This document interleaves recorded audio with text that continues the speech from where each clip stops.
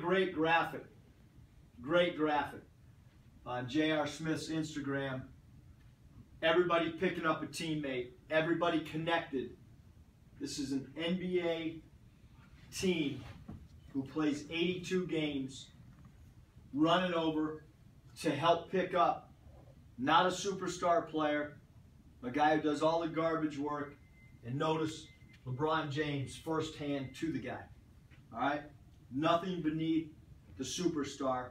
Just as we showed you a couple weeks ago, the article with LeBron James doing what in the locker room, Josh? Uh, cleaning Clean, exactly, cleaning up in the locker room.